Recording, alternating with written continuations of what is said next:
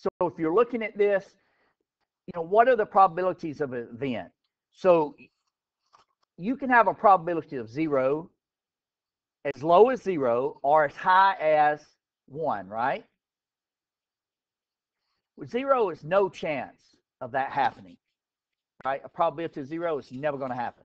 A prob- probability of one, 100% or always, right? So it's between zero and one. You're looking at a decimal, right? And it's really a percentage or probabilities percentage, right? So that's your span. Does that make sense? Zero's the lowest, can't, will not ever happen. One's the highest, right? So everything between those, encompassing those, are valid, um, are valid choices. So the first one says, which of the following numbers could be a probability of an event? So yeah, we can have zero, right? Zero is a probability. Yeah, like what about negative 0.49? Is that a uh, a probability? No. The reason why is it's negative, right? Okay, so we can't do that. How about 0.21? Okay. Of course, 1, right? That's a, that's and then 0.03 and then I got 1.28. So is 1.28 a viable answer for a probability? Nah. So your two things here are, you know, you're excluding a negative and you're excluding values that are greater than one, right? Okay. Any questions on that? Okay. All right. So this second problem here is more in line of what you would talk about the empirical rule, right? Uh, suppose you toss a coin 100 times. You toss it 100 times. You get 72 heads and 28 tails. Based on the results, what is the probability of the next flip result resulting in a head, right? Well, it's empirical, right? Because we've ran an experiment. So how many heads have we got thus far? 72. Out of how many times did we run that experiment? 100, which would be 0.7 what? 2, right? Round to two decimal places. Okay. Any questions on that? Again, empirical is based off trials that you've simulated, right? And the classical is more theoretical. All right. Y'all good online? Okay. All right. So, y'all good in here? Yep. Let's see. I got 10. Let's see what my people are.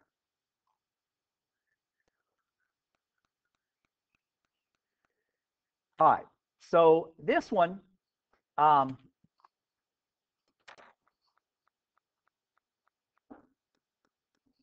we're looking at a bag of tulips, right? And uh, so let's look.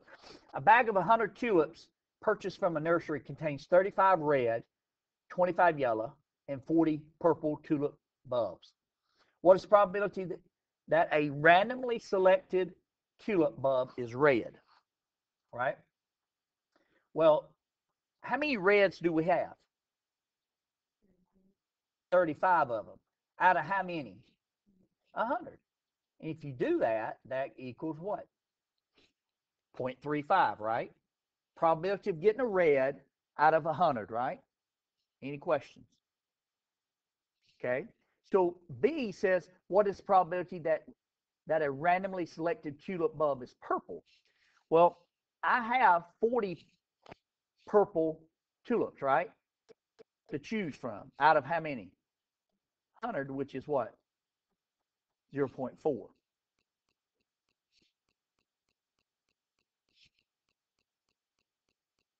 Okay. Now, interpret these two, po two possibilities. Select the choice that below and fill in the extra with your best choice. If 100 tulips were sampled with replacement, one would expect about or exactly.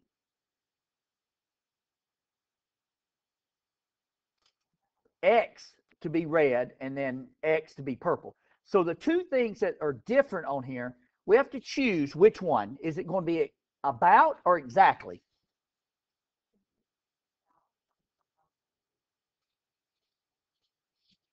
It's going to be about because it's a probability, right? Are they always going to be 35 red tulips, 25 and 40? No, not always, right? So that's why it's about. So you'll have, you'll just stick these answers down here, right? Um, 0.35 for that, and then 0.4 for, for that. Any questions?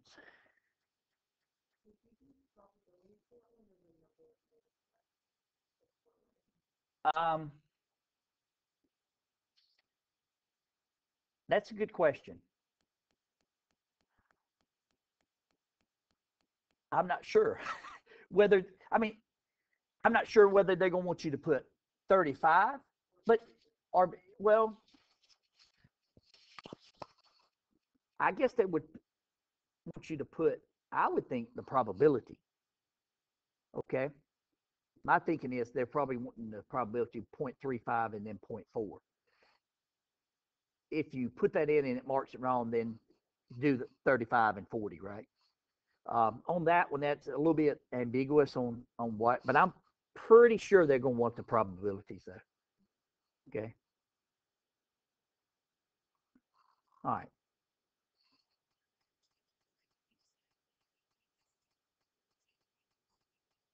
Yeah, it's never going to be ex exactly right.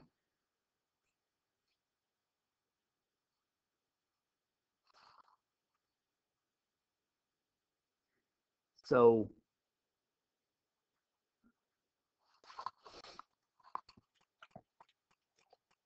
All right, any questions on that? All good? Yeah?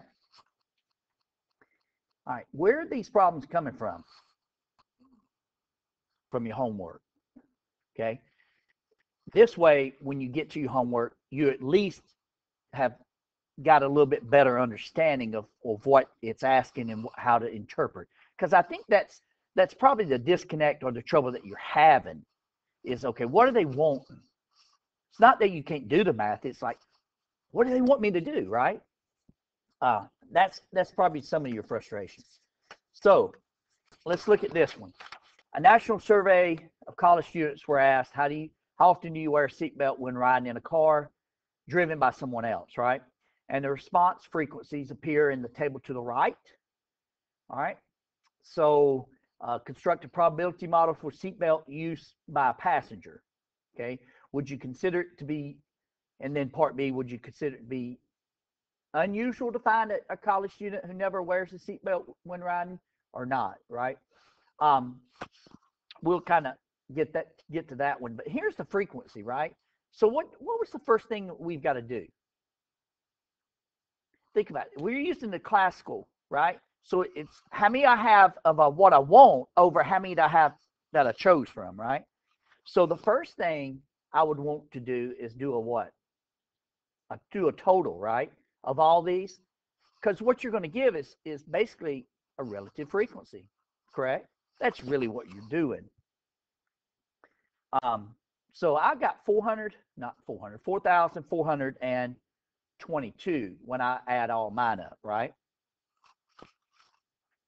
So calculate the probability of a never. Well, a never is what? 116 out of how many? Right, 4,422, right? And if I do that, then I get this. And it said to the nearest thousand, so I'll go out three decimal places. And then, you know, this is part A it could be it could be asking you um, you know different ones. You might get rarely you may you may get most of the time so forth and so on right? Um,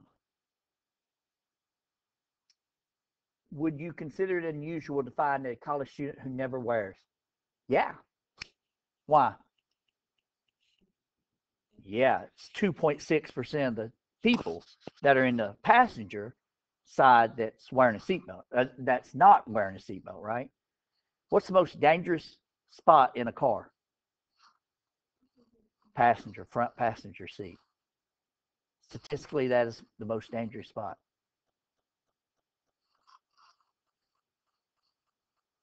Yeah. The driver, and I hate to say this, but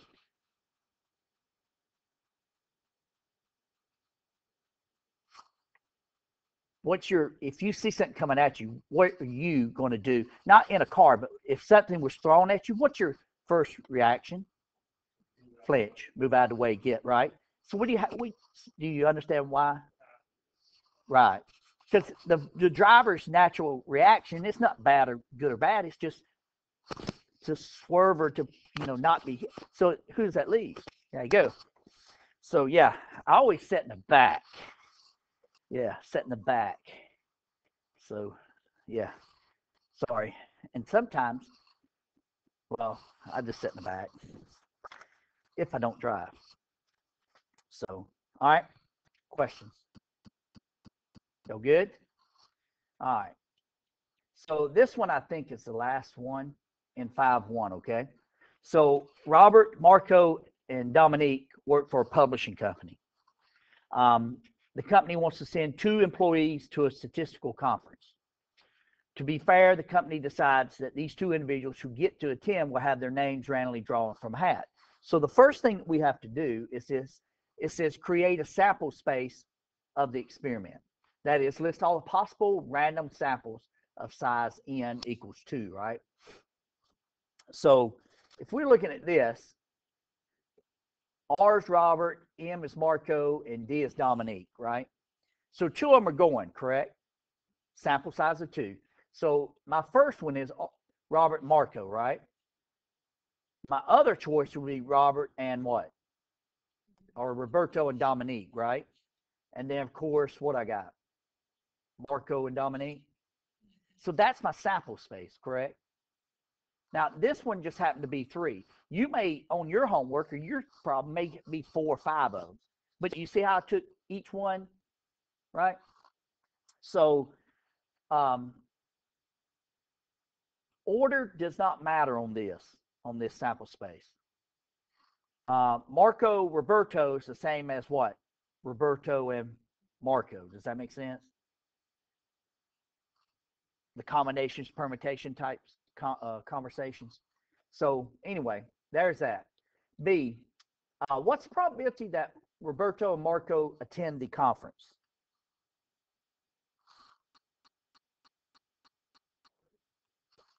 How many of Roberto and Marco's do I have? One out of how many? Out of three, which is what?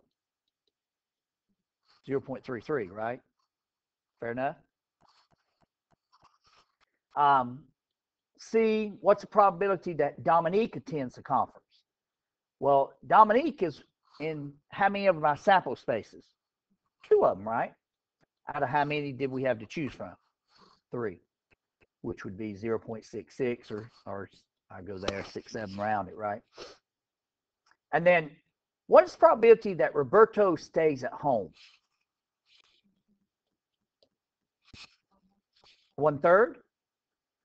Because Roberto to stay at home, that means Roberto's not going, right? So there's only one of these out of three that Roberto stays at home. The other two says Roberto goes. So there you go. Now, this particular example only had three choices, right? Yours may have more than that.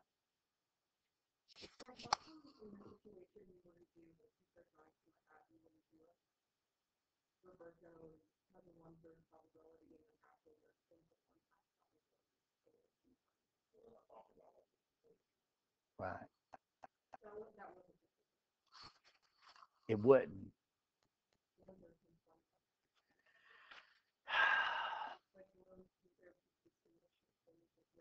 It will, and you'll get to that in chapter six.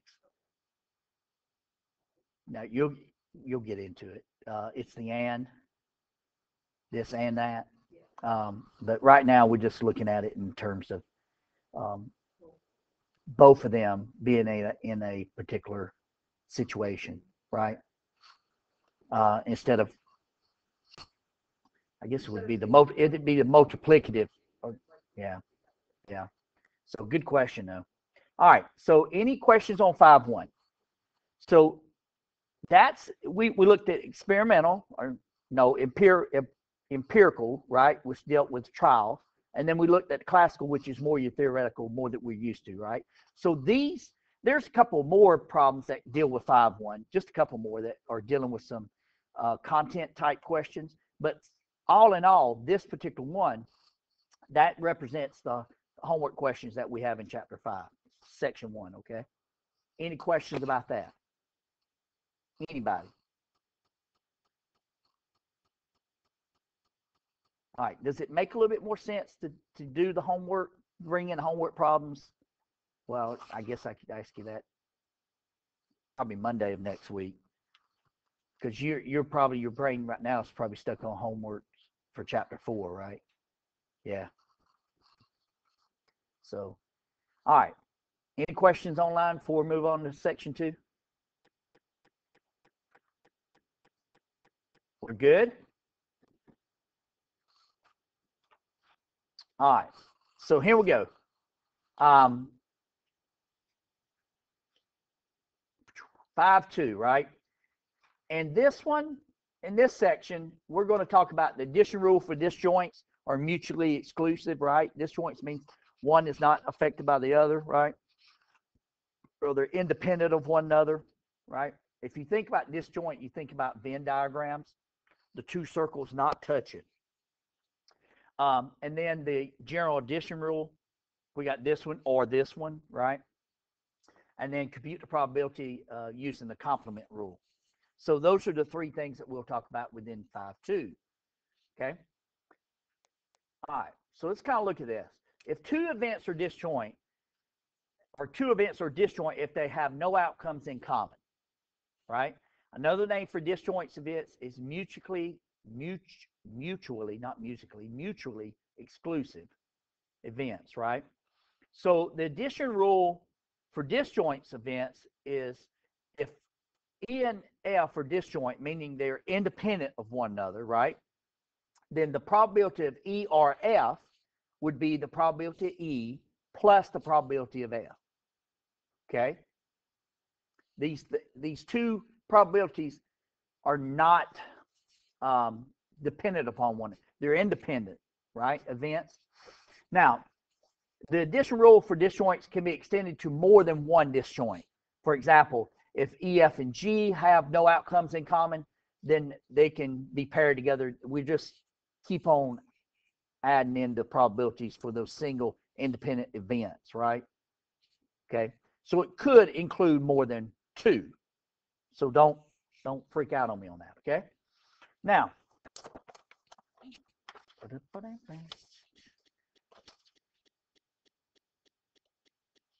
the general addition rule, generally, uh, for two events, uh, the probability of E or F is equal to the probability of E plus the probability of F minus the probability of E and F happening. That means they have something in common, right? Okay. Um, for example, if I said, what's the probability of uh, hearts are seven, right? Well, I can do the probability of hearts, right? Which would be, if you think about it, each suit is 13 out of 52 cards, right? So that's 13 out of 52. Sevens, there's four sevens, right? And then do I have a seven of hearts? then I would have to subtract that because I don't want to double count it. Does that make sense? So that's what the if they can both happen at the same time, then we have to take into account that, right? Non-independent or non-mutually exclusive event. So let's look at this one. You know, suppose that a pair of dice are shown, right? Let E be the first die is a two, and then F be the sum of the dice is less than or equal to five. Now, the real key thing is less than equal to what? Five, right? Okay, so the sum of it, right? So the first one has to be two. And then the second thing we're looking at is the summation of the two together. It has to be less than equal to 5. So what's the probability of E or F used in the general addition rule? So here's all of our sample space, right? And if you have two dice, then you have a 36 outcome sample space, right? Like if you do 1 through 6 on the left-hand side, then 1 through 6 on the top, and you pair them together, right? 1, 1, 1, 2, blah, blah, blah. You got 36 different outcomes. So here's the sample space here. So what's the probability that the first die is a 2? What's the probability that the first die is a 2? Huh? Well, the prop the probability that there's a two, the first one's a two, is you should have, let's see, one, two, three, four, five, what? Six out of 36, which is what? One six, right?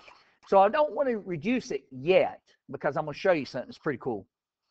Uh, what's the probability of uh, there being um, a sum of five, less than or equal to five? Well, this would give me two, right? This gives me three. This gives me four. This one gives me five. So these right here are good, right? This gives me three. This gives me what? Four. That gives me what? Five, right? This gives me what? Four. And this one gives me what? Five. So how many we got? One, two, three, four, five, six, seven, eight, nine, what? Huh? Is there one more? Did I grab one too? That's five, five, five. So let me count one, two, three, four, five, six, seven, eight, nine, ten, right? Right there. 10. So that's 10 out of how many? Right. So it'd be what? Uh, greater than equal to what? 5, right? No, less than, sorry. Boom. Put less than equal to 5, right? So that's 10 out of 36. Now, can we have a dice that has 2 as the first one and has a sum less than 5? How many of them are they? Well, this one's one, right? What we got here? That one, what? That one and what? That one. Correct? So that's how many? That would be three out of what? 36. So I got six out of 36. Uh-oh. I wrote, wrote it in the wrong place. Sorry. Let me go over here. Uh, 6 out of 36, probably up to E. Uh, 10 out of 36 would be the probability up to F minus 3 out of 36, right? So what happens when you add subtract with the same common denominator? You just take care of the numerator, right? 6 plus 10 is 16 minus 3 is what? 13 out of 36. So that's why I said don't reduce. It makes it a little bit easier and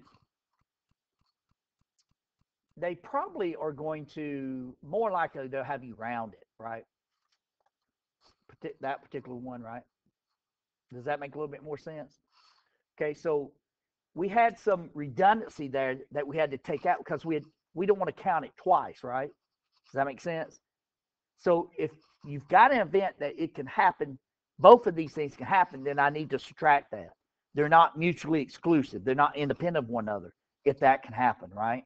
So that's the two things we're looking at from addition rule. Both of them happen at the same time or both of them not happening. So uh, I stuck this one there just so you could kind of see. They reduced it, but I I tend to like this. Boom, and then that, right? And then you've got it, you know, you've got it down here, which is very easily, you can see I it's 13 right? Um, I don't do this,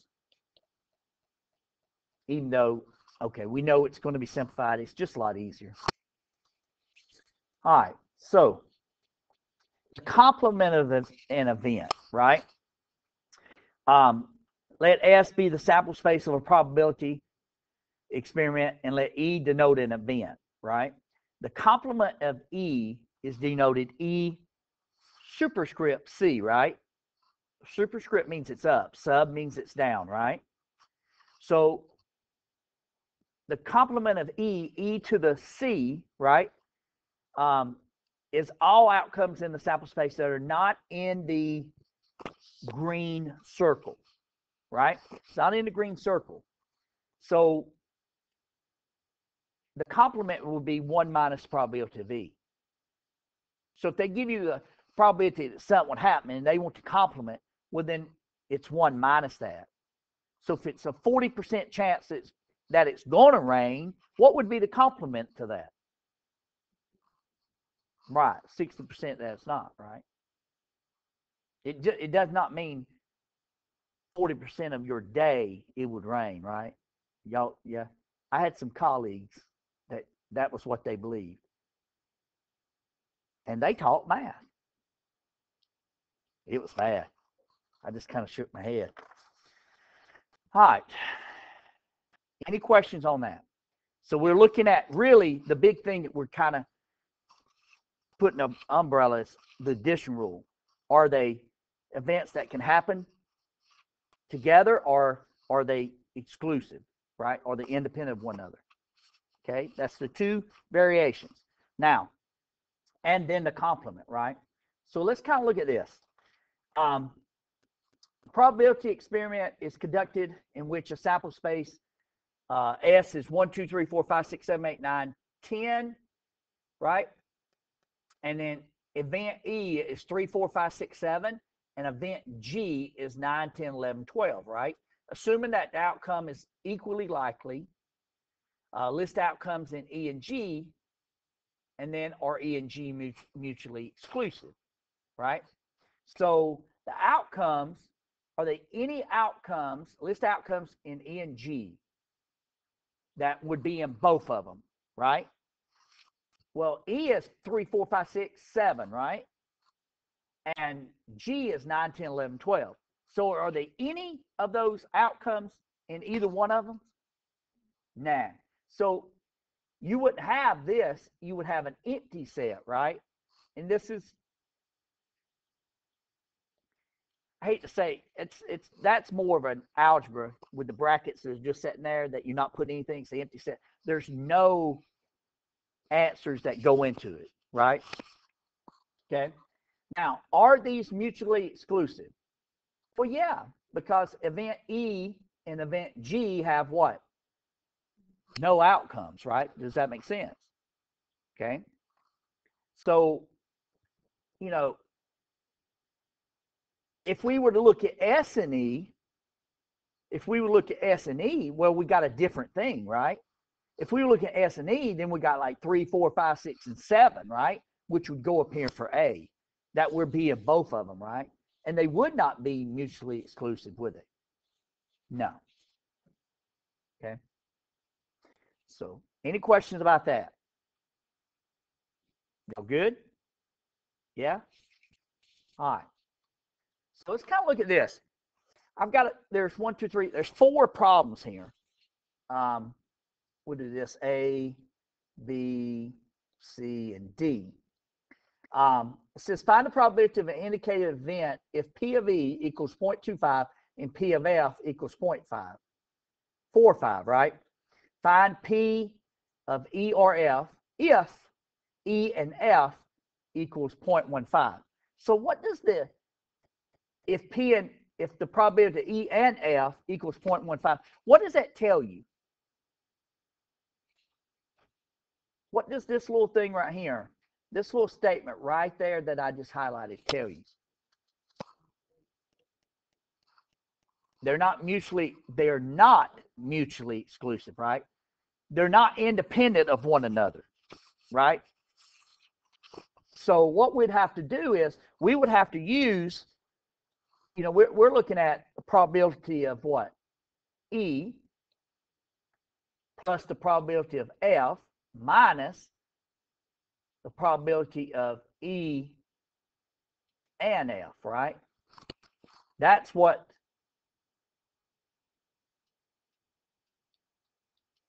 the ERF would be, right? So if we look at this, then probability E is 0.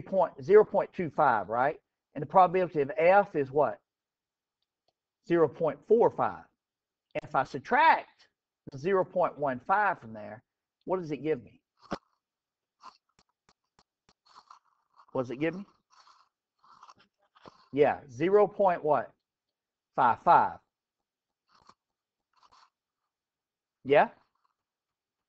Okay. I want you to look at B. I want you to take about, I don't know, about 15, 20 seconds, maybe 30 seconds, and kind of look at that and um, look at B, C, and D. I'll let you do B, C, and D, right? We'll give you, I don't know, a minute or two. Yeah? That okay? We get about a minute, minute and a half, right? Okay. So let's kind of look at that, uh, look at B real quick. Prob probability of E over F, if they're mutually what? That means E and F can't, they're not dependent upon one another, right? Does that mean they can't happen, so we don't have to exclude them happening at the same time, right? Um, so basically, it's probability of E plus probability of F, right? Which would be 0.30 plus 0.45, which, ladies and gentlemen, gives me what? Seven what? Five.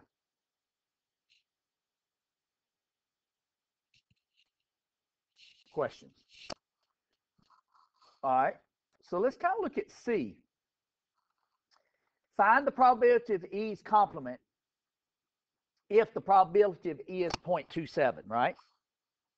Well, the complement is the probability of E's complement is 1 minus the probability of E, right? So 1 minus 0.27 would be what? 0.73? Any questions about that one? All right. Now, this bottom one is really the one that I real, I wouldn't say I really want you to kind of consider, but let's do this. What'd you get for an answer? Huh? I got a point three. Anybody get anything different? I got a point three in class. What about online? Anybody get anything different?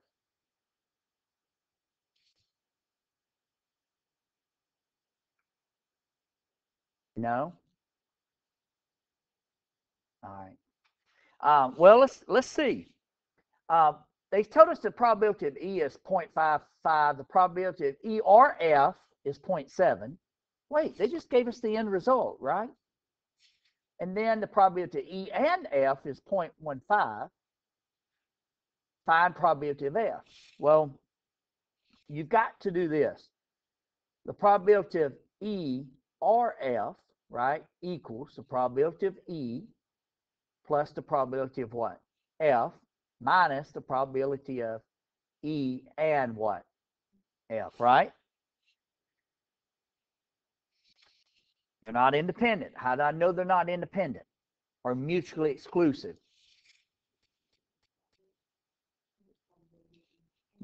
They gave me both events happening, right, together. So um, E of F is 0.70. Probability of E is 0.55. Do we know what the probability of F, is? Nah. So X for an unknown, right? Uh, E and F is uh, 0.15. So if we go ahead and combine like terms, right? 0.70 equals what? 0.4, right? O plus X. And of course, we'll just go ahead and do what? Subtract 0.4, right? So 0.30 equals what? X, which is the probability of what? F, right? All right. Do you see that little algebra there? just kind of laying it out, plugging in what I have, because right now on this problem, the probability of F is missing, right? Your problem, it may be the probability E, may be the probability of E and F, right? It's going to be one of the three on the right hand side. Okay. Any questions about that? Anybody? Y'all good? All right. Now, let's go have some fun. This one, we're looking at 52 cards in a deck, right? So let's kind of let's just talk cards. There's four suits, right? Each suit has how many cards in it? 13, right? Because 4 times 13 is what? 52, right? So you have 13 hearts, you have 13 spades, you have 13 clubs, you have 13 what? Diamonds, right? They all, the cards from that goes from 2 all the way to 10, then Jack, Queen, King, what? Ace, right? So if you do that, there's 13 for each suit. Now, in these problems, you have to determine whether things are mutually exclusive or not. That means, can you have both of them happen at the same time? For example, probability, let's just kind of look at the first one. The probability of what? A jack and a what? So probability of jack or what? An eight. Well, one ask something. Are they independent? Are they dependent? Can you have those same things happen at the same time? Are they exclusive? So how many of y'all say they can't happen at the same time? At two, three? How many of y'all say they can happen at the same time?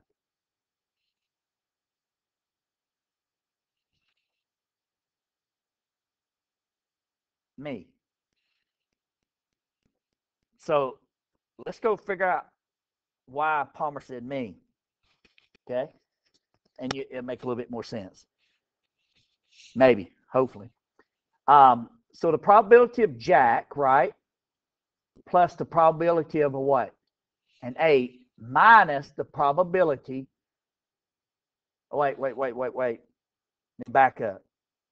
Let me back up. I just I just flub dubbed it. You can't have an eight and a jack at the same time. My bad. I, I just my brain just went and I now it's now I'm back on the merry-go-round. I went around. around okay, so let me back up. Y'all three are correct. I'm wrong. And if you were on online and you said, "Oh, they can't have a jack and eight," all right. So, um, let's talk. Is face face cards are Jack, Queen, Kings, right? Yeah. Okay. Good. Just want to make sure. It's been a while, right? So, um, all right. So you can't have a Jack and an eight. They don't make it, do they? Okay. Good. So these are mutually exclusive, right? So what's the probability of a Jack? How many Jacks do you have? Four out of how many? 52 plus how many eights do you have? Equals, guess what? 8 out of what? And then you put it as a decimal, right? You with me? All right, good. Whew. All right. I don't know why my brain went. My brain had two. I was thinking. Uh, I was thinking suits. I had suits in my mind. Yeah, I, had suits. So, all right. Okay, so let's look at B. Compute the probability of randomly selecting a jack or eight or seven. Well, are they mutually exclusive? Are they can can we have a card that has Jack eight and seven on it? Nah. So they're mutually exclusive, right? So what we're looking at is probability of a what? A jack or eight or what? Seven, right? So that would be, let's see, what's probability of a jack? Y'all said four out of 52, right? What's probability of an eight? Four out of 52. What's probability of a seven? So what would that be?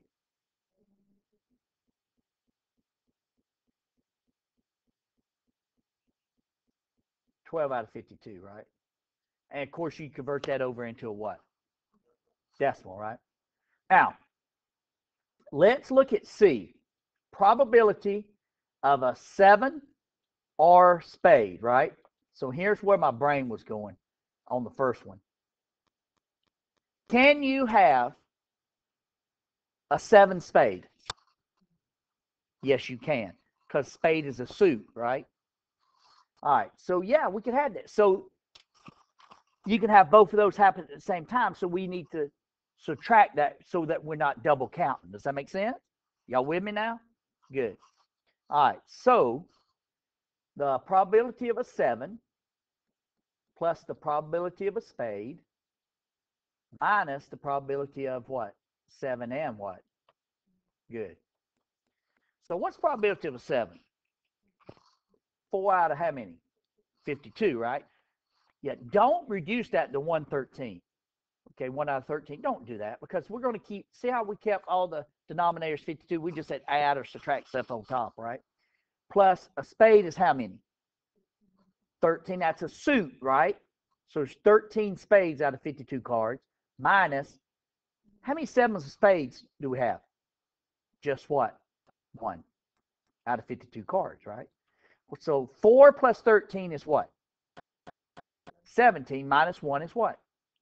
16 out of 52. Ladies and gentlemen, that converts over into a what? Over into a decimal, right? Yeah. All right. Now, that really is it for uh, 5 2. All right. We're just doing the addition. We had mutually exclusive or events that could happen at the same time. That was the only two scenarios we were looking at, right? Now, so let me do this real quick. Um, determine whether the scatter plot diagram indicates a linear relationship may exist between the two variables. If the linear, if the relationship is linear, determine whether it's positive or negative association between it. Well, first off, look at the scatter plot. Kind of appears to be in what type of form or fashion? A line, right? Okay, so therefore, it's pretty high probability, right? Correlation coefficient, it's probably going to be a, a really high number close to one, right?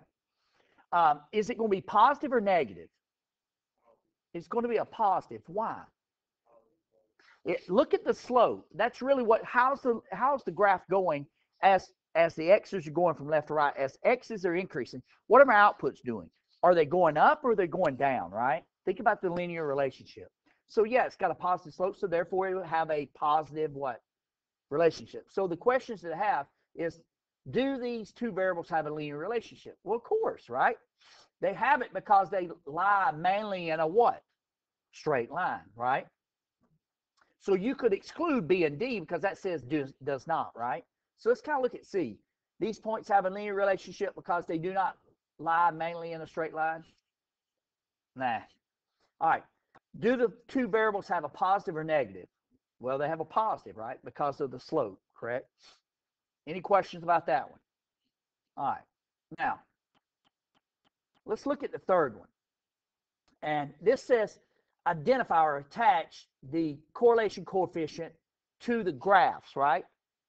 So we've got uh, A is a correlation of 0.523, B's correlation of 1, and then C's correlation is 0.87, right?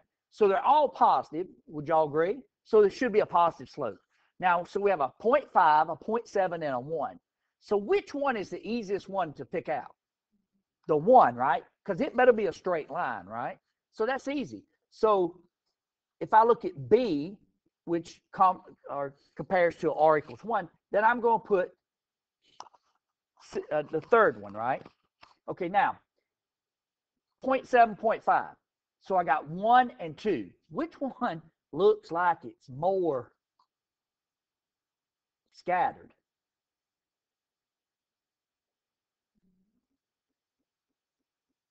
Yeah, the first one. Look at it. I mean, if you had to put a band around those, the band on that one would be a little bit spread as compared to what uh, the second one is, right? Does that make sense? Any questions about that? Right, do you see how? If you go back and look at our notes, I gave you a. Uh, they had like I don't know eight examples of positive and what negative relationships, right, or correlations, and data plots or scatter plots on that, right? All right. Okay, so match the linear coefficient to the scatter plot below. Negative 0.038. Well, first off, it's negative, right? So, so that excludes which one? The first one, right? Because that's a what? Positive. So maybe B, maybe D, maybe C, right? So let's kind of look at those. Um, negative 0.038. That's close to what? Negative 1 or to 0? What's it close to? 0, which means that if it's at 0, does it have an association or relationship? No. So which one do you think has that could be C? Does that make sense? D would have a stronger correlation coefficient than who? B, right? But did still be negative. Do y'all understand why it would be negative? Because the slope is going downward, right? Any questions on that one? Um, Okay. So said draw a scatter plot by hand, compute the correlation coefficient. No, no, no, no, no. Do not do this by hand. Do not do this by hand, okay? Um, click on this, you get the data set, right? Okay, there's what, five points? So not a huge data set, correct? So if I take that data set then what I want to do is I want to plug it into my calculator. So what I want to do is I want to run through this one time and kind of show you how to do that. So you'll have it. And then when we get to them again, I'll say, okay, you need to plug this in and kind of do it. Does that make sense? So this one I'll work out and I'll talk probably talk a little bit more about it than some of the other because I want to make sure that you're solid on this. Now, let me uh let me write these down. So I've got two, four, four, eight, six, eleven, six, thirteen, and seven, eighteen. All right. So there's my data set. Okay. Now it gave me a critical values table, right? Right. Y'all understand what the critical values table?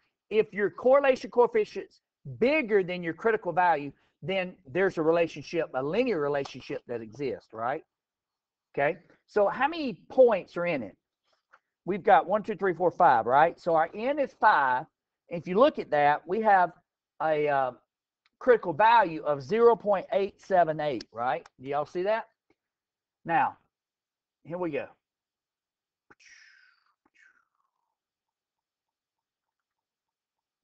First things first when I get to my calculator, I don't know what I've typed in here, right? So the first thing I'm going to do is I'm going to do this keystroke, second plus four. And what that does is it brings up a little thing called clear all my lists. Now, that's handy because guess what? I'm starting with a fresh slate, right? Period. So, so I'm going to go second plus four and what that does is it clears it, right? Everything's clear. Don't have to worry about typing over data. I don't want to type over data because if I type over data, I'm probably going to make a mistake. So I'm going to hit stat and enter because that's where I'm going to go edit. Make sure you're in L1, okay? And I'm just going to put what? Two enter, four enter, six enter, six enter, and seven, right? Pretty quick. And then arrow over to the right to L2. Then I'll put four enter, eight enter, 11 enter, 13 enter, and 18, right? Boom. Double check, make sure that what I've typed in is correct. Won't take you less than three seconds to do that. Do your X's and then do your Y's. Now, any questions about that? Okay, so the first thing that they want us to do is they want us to do a scatter plot, right? They want us to do a scatter plot. So I'm going to go up here and I'm going to say second y equals. And I'm going to turn my st stat plots on. So I'm going to hit enter to go in. And mine are on right now, right? And I want to make sure that I have the first selection, which would just be the dots. And then L1 and L2 is where my list is coming from, and I'm putting it in blue, right? So at this point, I've got my stat plot on. I know where they're coming from. I'm just going to hit graph. Now, look at that. What did I forget to do? I got something sitting over here in my equation editor, right? I got some some equation I've been working with. I want I need to make sure it's wiped out, right? So if you hit y equals, that's your equation editor. I'm just going to hit clear. And what that does is it takes it away, right? So I, now I can go back to graph and there's nothing there, right? Well, that's okay because there's a magic sequence that's going to make it look pretty. It's going to be pretty right there, right? What is that sequence? It's amen, right? Like when you forget something in math, you start praying, right? Yeah. No. You got to remember Zoom what? Zoom 9, which is Zoom stat, right? You're zooming in for a stat plot, right? Okay, so look at this. Look at my, my data points, right? So I got boom, boom. I got two sixes, right? I got X's are two six, so it means I got stack point.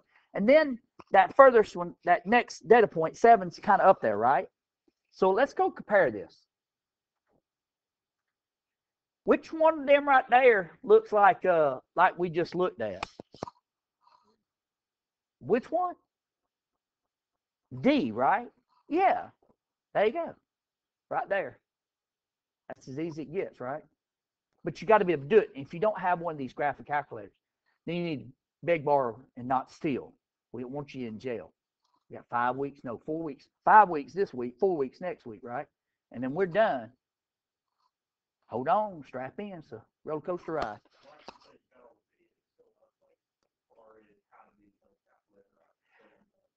Yeah. Um, it, there's a PDF file that's up on Blackboard. It says calculator stuff. Um, it may show you how to do a stat plot on TI-84 PDF, and it's got a little uh, camera thing that's right beside it. If you click on it, it goes to a video. Or all you have to do is say how to do a stat plot with a TI-84. Yeah, YouTube, man, you got like 15 million, right? Like everybody wants to be famous on that. All right, so here's the thing. Our next one says by hand compute the correlation coefficient. No way, Jose. We're not doing that, right? Work smarter, not harder. This is a tool. We're going to use it, right?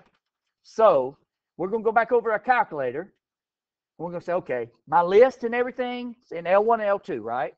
So if I go to stat and then arrow over to the right, I do number four. Now, we talked about what the difference was four and eight, right? The difference of four and eight, who's the slope and who's the y-intercept, right? They're the same regressions. Okay, so I'm going to do number four, right? So boom, I hit that. L1, L2, that's where my X and Y's are coming from. Now, you could store it, the regression equation if you wanted to. Anybody know that keystroke? I talk about that keystroke.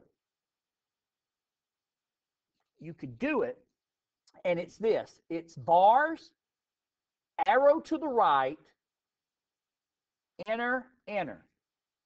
VARS, arrow to the right, enter, enter. That is the keystroke. That will automatically bring up Y1. Okay, so what's the big deal of storing it in Y1? Well, this problem doesn't ask you to graph the line in over the scatter plot, but one of the other problems will. So if you already know how to do it, guess what? Winner, winner, chicken dinner, right? So there, no harm, no foul. It's just arrow, VARS, arrow to the right, enter, enter. Now you can go down and hit calculate.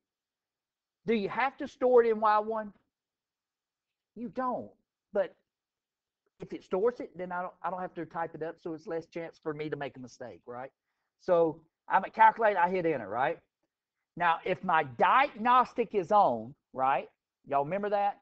Mode, You may have to go down to page two to see diagnostic on, make sure it's on. Or second, zero, which is catalog. Just keep scrolling down. You hit diagnostic on, make sure it's on, right? That's the only way you're going to get R, the variance, and or coefficient of determination, right? And then the coefficient of correlation, right? Or yeah, R is 0.95, right? Boom. Did we have to calculate it by hand? The correlation coefficient? No. So there. So I put in 0.95, right? Because the correlation correlation coefficient is positive, then when I take the absolute value of it, it will still be 0.95, right? If it was negative, then when I take the absolute value of it, it'll make it positive, right? So when they're looking at this to see, to make that determination with the critical value, right? They're making sure you take the core, the absolute value of R. That's what that little bit right there on C is talking about. 0.95 is greater than the 0.878, right? That was the critical point, right? So therefore, a positive linear relationship exists between X and Y. Boom, done. Question. None? Y'all good? So they can ask you about that. They can ask also ask you about this. Let me do this real quick now. Let me go back over to my calculator and let's just hit graph. See, if I stored that equation there, when I hit graph, guess what it look guess what it do, does for me? It'll plot it on there too, right? Does that make sense? We call that a BOGO, buy one, get one. And now it's free, right? There we go. Got plots, got regression line on that everything. So there, because they're going to ask you, hey, does your graph, which one of your graph matches it, right? They'll ask you. It's one of the problems out of 15 that does that. Okay, y'all good? All right, so we've done everything that we can do, right? Yes? All right, good. We talked about critical values, how to type it in, all that other stuff. Now let's kind of look at the rest of the homework. Uh, that's good. Boom. Hey, uh, if the linear correlation between the two variables is negative, what can be said about the slope? It's negative, right? Negative slope, negative what? Correlation, right? Or association to it, right? Positive slope, positive, right? All right. The least squares regression line always travels through x mean, y mean. That means the mean of all the x's and the mean of all the y's, right? That those are two coordinate or two points, data points that you use to be in order to find the standard deviation of x and standard deviation of y, right? So does it travel through those two points? No. What did I say? Yes. Why would it travel through those two points?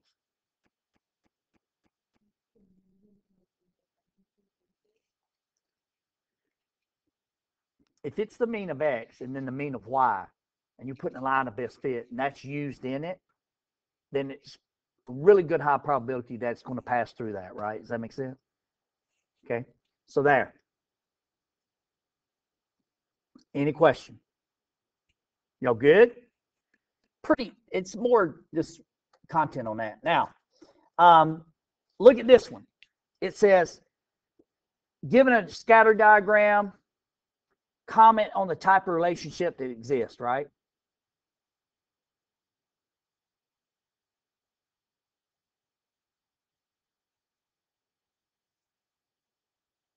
Oh, the data set. Where's oh, here's the data set. Duh. There's the data set, right? Down below us.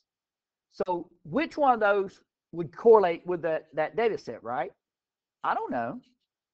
Well, I could, I guess. Look at my x's. What is happening to my y's as my x's get bigger? It's decreasing, right? So I know it needs to go in a negative format, right? Right? So there, it wouldn't be A, it wouldn't be B, it's either C or what? D. Do y'all see how we determine that? And then what I would do is I take that table and put it where? In my calculator, right? And then I, I do the scatter plot, look at it. Yeah, that looks great. And then I go from there, right? I do a linear regression, which is stat, arrow to the right for calculate number four. And I'm not going to use for B, I'm not going to use those things, even though those, those are components that I could use, right? I'm going to let the calculator do the least square regression line, right? Does that make sense? Like it'll give it to me, right? Now, here's the really cool part. Like this is cool. Let me let me do it. It's going to give you now this right here just kind of is going to blow people's minds. Where that burn it? Let me go here. Uh, here. It's going to give you, and that this people get confused. Y equals ax plus b, right? It's going to give you a is some number, right? Like 0.5, and then b is what? Like 2.3. I don't know. Don't have a clue. But I, let's, for grins and giggles, let's say it gives you that. And people go, I don't know how to write the equation. Folks, if this is A and this is B, then A goes here, B goes where? A go Y equals 0.5x plus 2.3, right? Boom. That's the equation, right? You'd be surprised. That is a huge disconnect when you start doing regressions. People like, I got it, but I don't know what uh, what to do with it, right? So there, y'all with me? Kind of being a little bit facetious about that, but really that's that's really the big thing that we fight on that. All right, so there. And then what's it as? Graph it, right? If you hit if you stored the regression equation, guess what you could hit now? Graph, boom, actually scatter plot with your line, right? You can pick out which one it is, right? You see what I'm talking about? Don't do this by hand. You got a table, right? Good. Um, hey, guess what? Same exact thing, except here's your table, right? Click there. There's your table. And then if you click here, here's a critical list, right? Yeah, just like the previous one of the previous problems, right? So what do you think they're going to ask you to do on the on the test? You got to be able to do a stat plot, a scatter plot, understand the relationships between, and a regression line, right? And correlation coefficient, right? R. You got to be able to do that, right? Yeah, you you do that, you're fine. All right, now, what does it mean to say that two variables are positively associated? Positively associated. And then what does it mean for it to be negative associated, right? There's no causation, right? Just positive associated. As one goes up, guess what? The other one does. Goes up too, right? That's positive association, right? Um, the linear relationship between the variables, whenever one increases, the other does what? Increase, right? X and Y both go up. Then for a negative, as X goes up, what does Y have to do? Got to go down, right? Does that make sense? You with me on that? Um, yeah, I got five. Okay.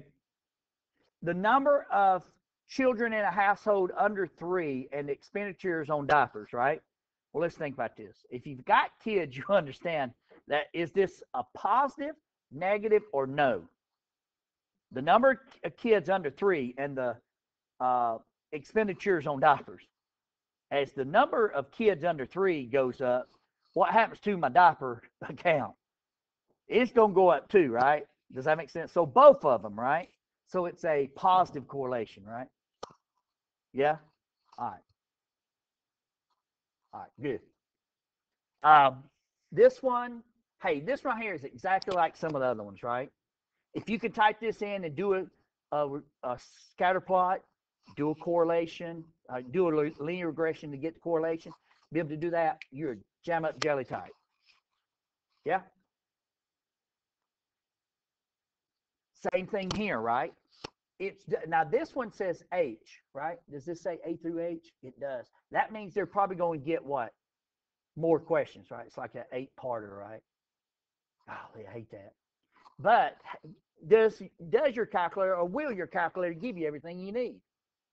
Yes. You got to know how to do it, right? And then this one, guess what? Same thing, right? There, once you understand how to do a regression line, and have that diagnostic on, everything else is a piece of cake, right? All right. And of course, 15, right? Hey, now they're giving you everything just like one of the previous problems where it gave you the x mean, the y mean, um, the standard deviation of y, the standard deviation of x, and then the correlation, right? They want you to find the who, the regression line, right?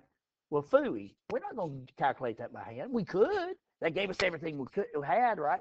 But we're just going to take that table, put it in L1 and L2, boom, just like that, right?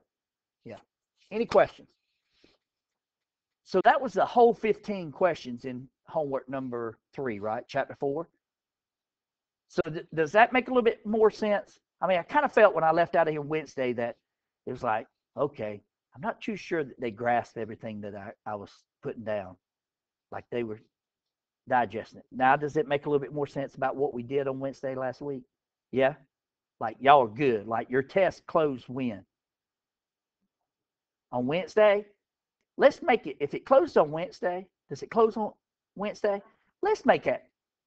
Ooh, if I make it Thursday, if I make it Thursday, you've got another. It does. Okay, good. Okay, I I, I was hoping that I didn't put it on a um, a class night. You know why?